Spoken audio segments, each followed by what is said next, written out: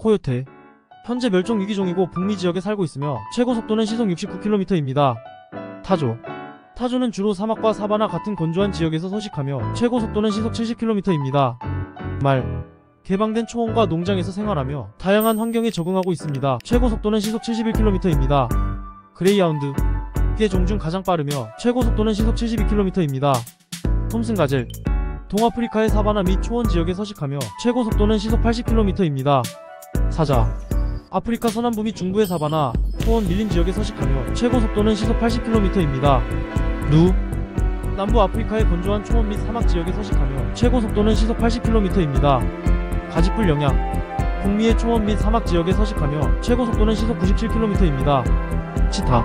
아프리카와 중동 일부 지역의 사바나 등지에 서식하며 최고 속도는 시속 110km로 육상에서 가장 빠른 동물입니다.